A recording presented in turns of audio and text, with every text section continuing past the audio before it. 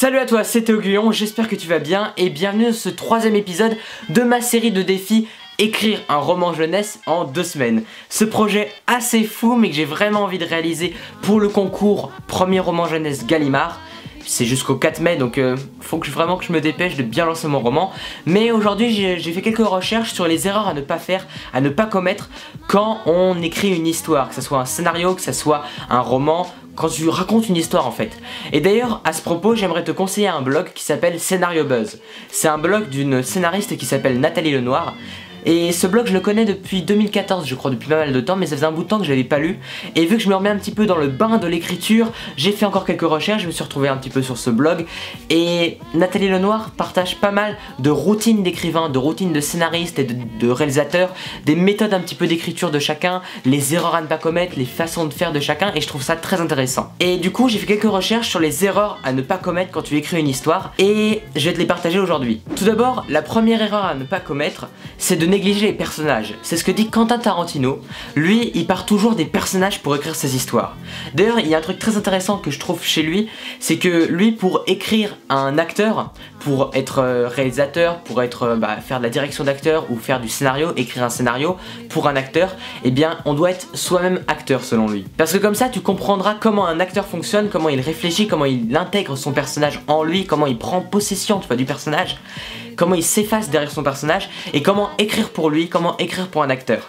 Et pour lui c'est très intéressant bah, de passer par l'humain, de comprendre l'humain pour écrire ses personnages. Les personnages c'est le truc le plus important de ton histoire parce que c'est vraiment les personnages qui vont être le lien humain entre ton, ton lecteur, ton spectateur et ton histoire et toi-même l'auteur. Et en fait si t'as une bonne histoire, si t'as des bons effets spéciaux, si t'as un bon ton, un bon style d'écriture que t'écris parfaitement bien, mais que tes personnages ils sont froids, ils sont distants, ils sont pas existants en fait, ils sont pas attachants, on n'a pas l'impression qu'ils ont vécu des choses, qu'ils ont une âme en fait, ils sont plats, froids, et bien tout de suite ça va créer, ça va créer une glace, un blocage en fait entre le lecteur et entre toi-même et ton histoire. Et le plus important c'est de faire passer des émotions à travers ton histoire.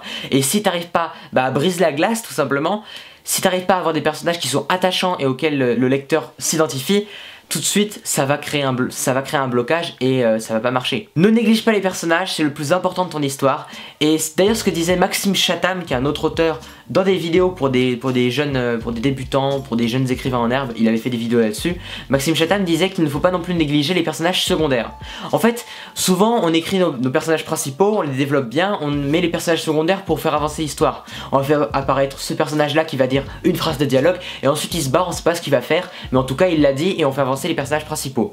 En fait, il faut vraiment penser à chaque personnage secondaire comme s'il était principal, comme s'il était le héros de sa propre histoire. Comme si on pouvait faire ben, un spin-off, tu vois, écrire un roman seulement sur lui.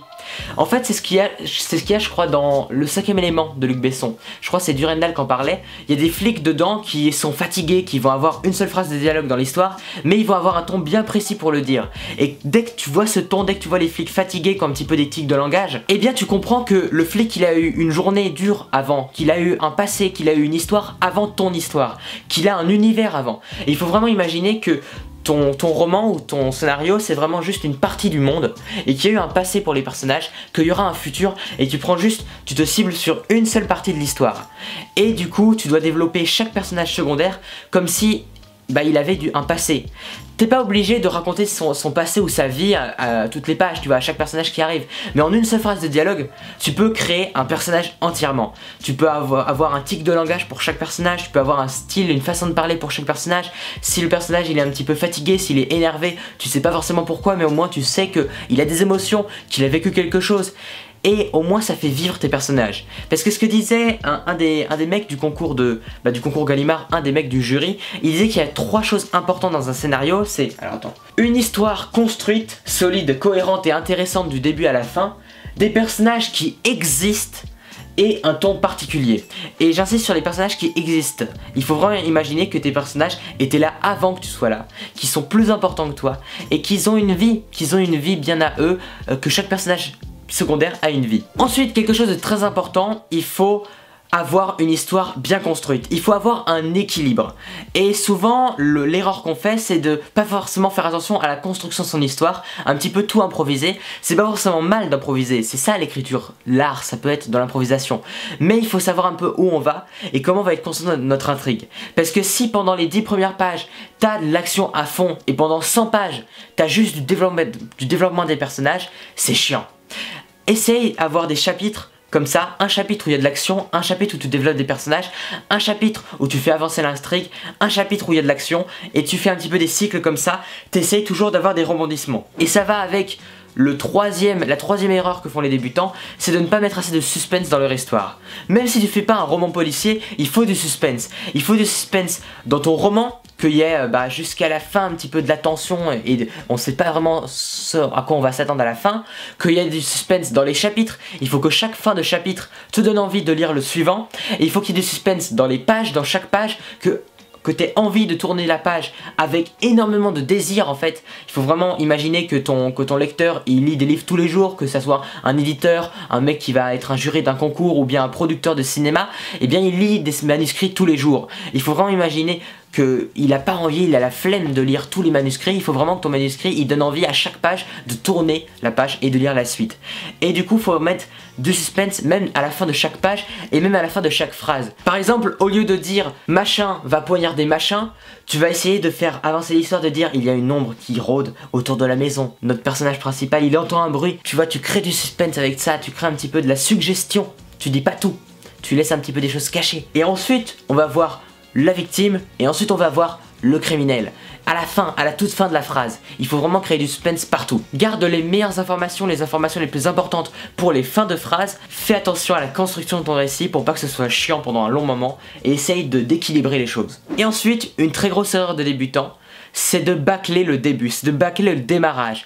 Il faut se dire que le démarrage, pour se mettre à écrire ou bien pour lire un manuscrit ou un roman, c'est le plus compliqué, le démarrage. Ça te demande un effort surhumain de démarrer une nouvelle tâche, de faire rentrer quelque chose de nouveau dans ta vie. Et même si c'est un roman, ça va être très compliqué de rentrer dans un bouquin dont les premières pages sont chiantes. Et du coup, il faut imaginer que les dix premières pages, voire même les cinq premières pages, voire même la première page de ton roman, elle doit être parfaite et elle doit donner envie de lire la suite. Ça doit être hyper important. Tu dois montrer ton style particulier, tu dois montrer que ton histoire, elle va être bien construite, qu'il y a des des enjeux très importants et que bah tu, développes des personnages qui sont intéressants dès la première page, voire dès la première ligne. Moi j'aime bien des, romans qui ont une, une, phrase choc comme première phrase du roman. Par exemple L'étranger d'Albert Camus, bon je l'ai pas lu, mais c'est la première phrase c'est Aujourd'hui maman est morte. Elle est très connue cette phrase. Et c'est des phrases un petit peu choc qui rentrent dans le ton, qui rentrent dans l'histoire vraiment. Ça fait rentrer dans le ton de l'histoire. Et c'est très important d'immerger le spectateur, d'immerger le lecteur dans ton histoire avec une phrase choc, avec une première page parfaite qui montre tous les personnages, qui montre ton style particulier et tes enjeux. Et avec les dix premières pages qui montrent, qui font tout de suite rentrer dans l'intrigue. Et enfin, une erreur, une très grosse erreur que font les débutants, et que j'espère bah, moi ne pas faire, c'est on ne fait pas attention aux enjeux. Ça, ça va aussi pour les scénarios. Il y a beaucoup de problèmes dans les scénarios un petit peu de débutants, les premiers scénarios. C'est qu'il n'y a pas les enjeux, il n'y a pas des enjeux assez forts. Que les personnages, ils soient obligés de faire des actions, ils soient obligés de, bah, faire l'intrigue, de suivre l'intrigue, parce qu'ils ont quelque chose à gagner ou quelque chose à perdre. Même souvent, c'est plus quelque chose à perdre, de très important. L'enjeu le plus important, c'est bah, la mort. Tu vois, genre, s'ils le font pas, bah, ils vont mourir. Imagine que c'est un combat par exemple de quelqu'un d'obèse, et on le dit, si tu ne perds pas du poids, tu vas mourir. Et du coup, ça va être un combat contre la mort en fait. On pourrait dire c'est un combat contre l'obésité, contre le fait de pas manger au McDo, mais c'est un combat contre la mort en fait, son histoire.